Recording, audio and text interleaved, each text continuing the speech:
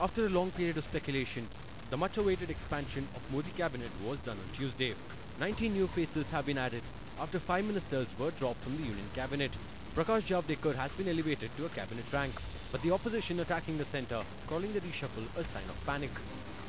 Sole aim of expansion is a vote garnering exercise looking at election going states and is actually a panic reaction against the following graph of Bharatiya Janata Party BJP ally Shiv Sena made no claim for a position in the cabinet this time the party called it a matter of self respect and justified its ministers presence at the oath taking ceremony as protocol Uddhav ji ने कहा है कि हम minister birth के लिए किसी के door step पे नहीं जाएँगे दरवाजे पे नहीं जाएँगे।